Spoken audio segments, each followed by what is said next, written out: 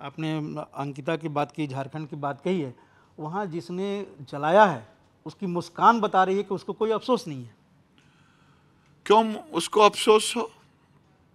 तुष्टिकरण की सरकार हो और मेरे गाँव की कहावत है मुरसैया कोतवाल तो डर काहे को? अंकिता की मौत अगर हुई है तो वहाँ की सरकार जिम्मेदार है। उसके परिजन और अंकिता जैसा आ रहा है खबर, वो गुहार प्रशासन से पहले कह रही थी कि मेरे साथ ये घटना घट सकती है। लेकिन तुष्टिकरण की निंद में सोई हुई प्रशासन कोई चिंता नहीं, कोई कार्रवाई नहीं।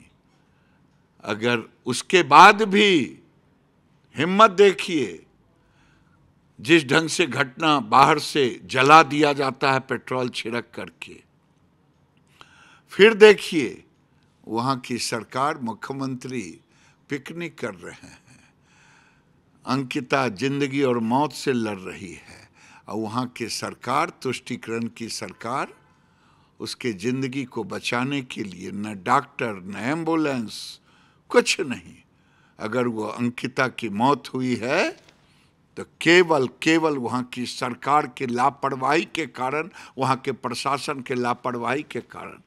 अब अगर उल्टा होता, अंकिता अगर मुस्लिम समाज की लड़की होती, और कोई हिंदू किया होता, आज टुकड़े टुकड़े गैंग राहुल गांधी सहित वहाँ जाते और पॉलिटिकल टूरिज़्म का अड्डा बनाते।